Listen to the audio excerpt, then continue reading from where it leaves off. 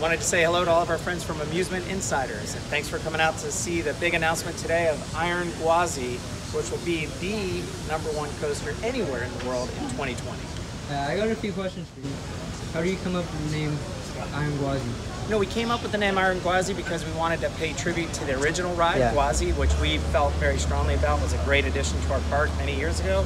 Um, and then we just we felt like the simple addition. Believe me, we go when you go through this process, we went through many, many, many different names and a whole bunch of different creative processes. We just kept coming back to the one that made logical sense, and that's taking that uh, the original Gwazi and just having it evolve to something all new and exciting. And obviously, what RMC does uh, special with coasters. You know, they add that that hybrid element. So we just figured the the easiest name, the easiest way to get to it was through Iron Gwazi.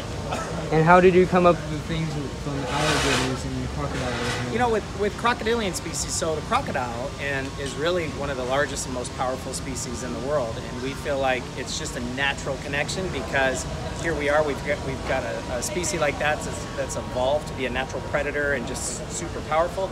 We have a coaster that's now evolved to be super powerful, one of the best in the world.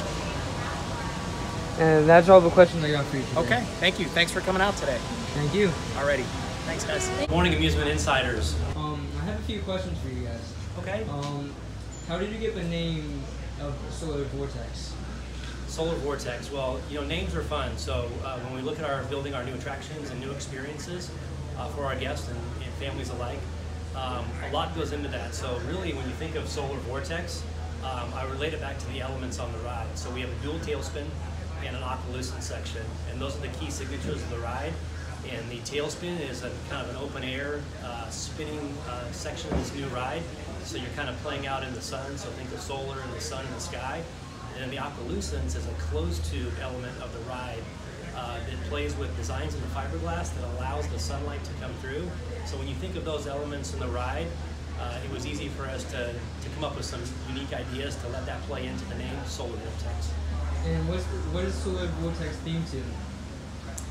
So if, if you've been to Adventure Island lately, so it's themed, uh, we're putting this in the Key West area of the park. So when you think of Key West, the fun, the vibrant colors, uh, the exciting appeal, um, a lot of that will go into this design. So big bright colors, uh, a, a lot of different, as you see here uh, in the key visual today. Um, uh, you'll see this uh, type of scheme on our, on our new ride. And that's all I got for you today. All right, thank you guys. I gotta take my phone